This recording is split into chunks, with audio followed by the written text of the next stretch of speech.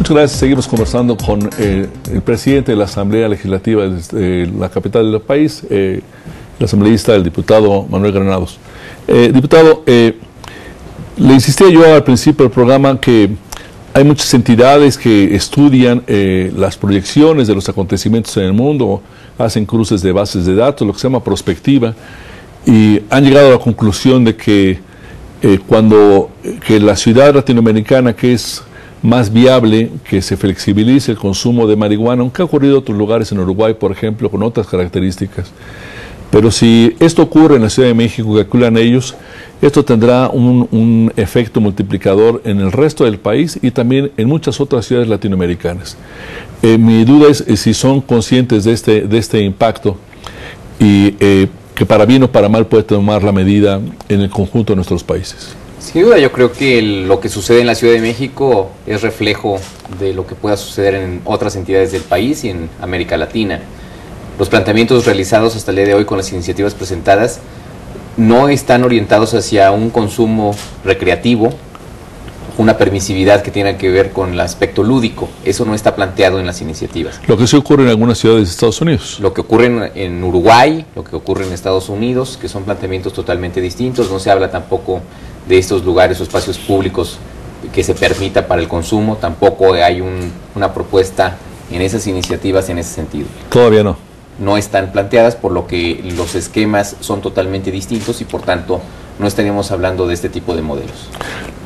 el eje es eh, flexibilizar, es decir, aumentar el número de gramos que una persona puede traer para su autoconsumo e impulsar una medida de políticas públicas para eh, cuidar la, rehabilitación, las adicciones, que es un complemento indispensable, ¿no? En la parte local, hasta donde tenemos competencia, hablamos de, una, de un sistema de reducción de riesgos y daños que permita darle seguimiento terapéutico y sobre todo no criminalizar a quienes son consumidores.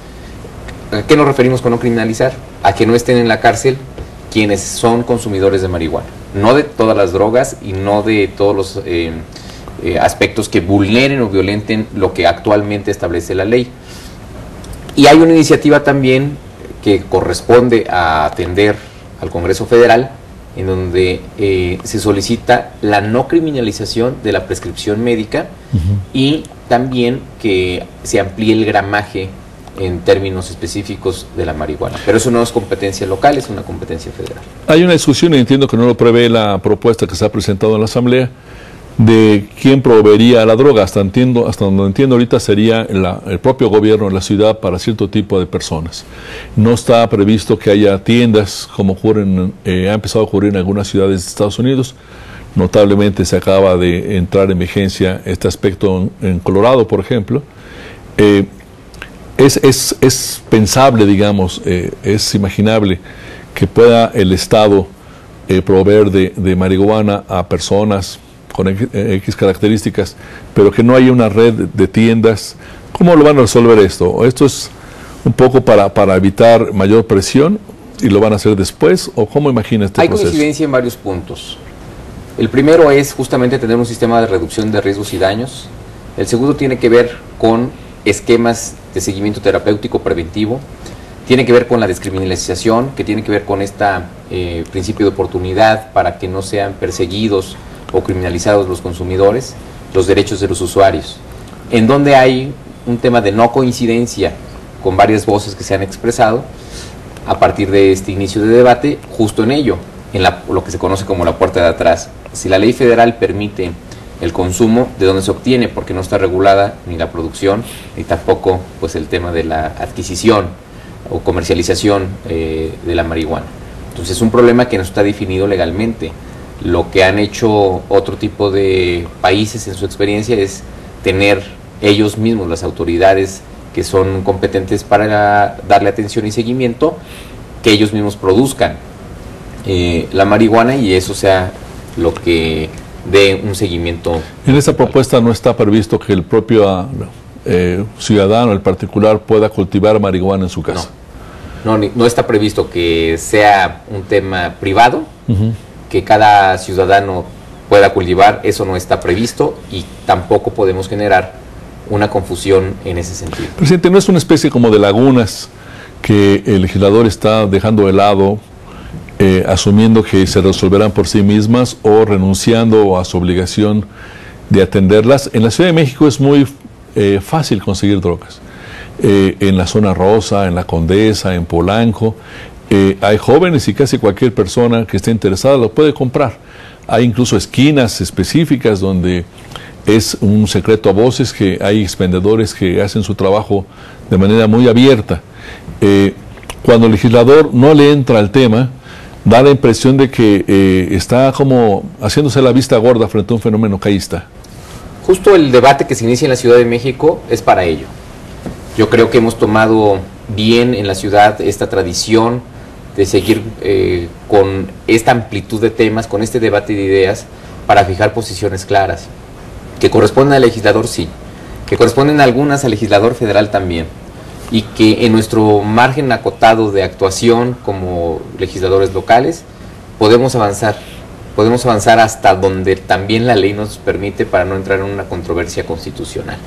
yo creo que esto tiene que ver también mucho con, eh, con esta visión de no querer enfrentar un problema social. Yo creo que eh, en la medida en que nosotros también tengamos claro qué es lo que sucede en nuestra sociedad, tengamos claro cuáles son los mejores mecanismos para atender esta problemática, podemos encontrar la coyuntura tanto legislativa como de política pública para pues darle un beneficio a la sociedad.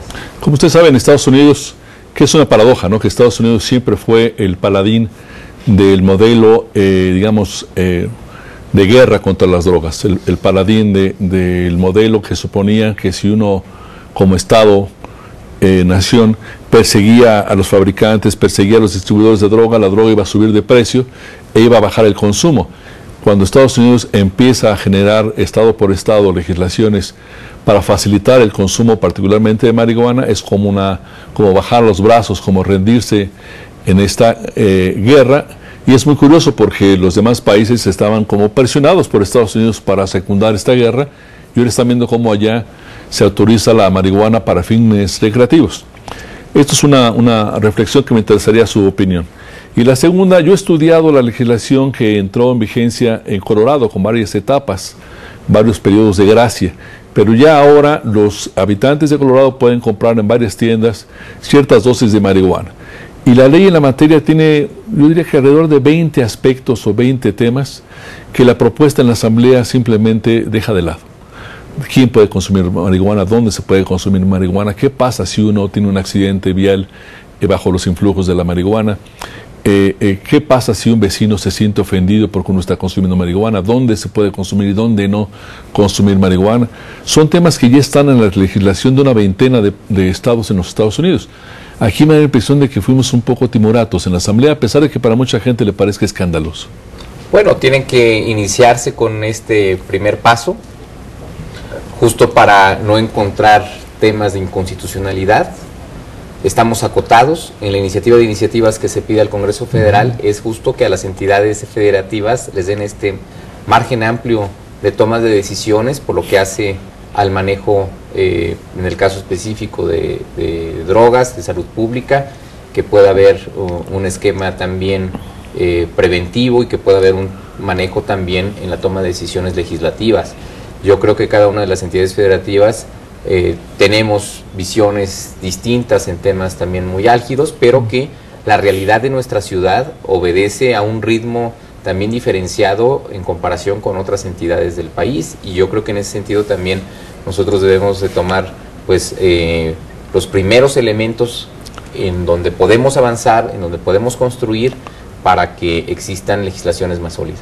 He escuchado con mucha cautela al jefe de gobierno, el doctor eh, Mancera, expresarse sobre esta iniciativa, eh, subrayar el tema de la preocupación por la salud y por el debate mismo como forma de llegar a acuerdos. Pero también ha habido eh, comentarios de mucha preocupación del secretario de Salud de la ciudad, el doctor Armando Agüed, donde se ha opuesto abiertamente la posibilidad de que haya tiendas donde se ofrezca en venta la marihuana. ¿Qué tanto consenso ve usted eh, en el gobierno, en la ciudad, sobre este tema? Bueno, estamos abiertos al debate. Yo creo que en la medida en que este tema esté sobre la mesa, todos los actores involucrados pueden emitir opinión, pero más allá de ello, creo que deben aportar propuestas. Yo creo que tampoco podemos hacer de lado un problema social y decir no estoy de acuerdo sin tener una propuesta alterna. Yo creo que en este tema, como en otros, eh, acompañado de una posición muy clara, creo que debe venir también eh, aparejada justamente otra, otra línea que pueda dar eh, consenso en los actores y que pueda ser también favorable en una legislación. Usted ha mencionado varias veces que le preocupa que la Asamblea no extralimite las atribuciones que tiene constitucionalmente en su tarea. Y esto nos lleva eh, al siguiente tema que le propongo para el siguiente bloque, lo de la reforma política para la Ciudad de México, que ya creo que nos surge a los capitalinos y al conjunto del país también. Regresamos a eso si me permite. Muy bien. Estamos con ustedes en un minuto. Muchas gracias.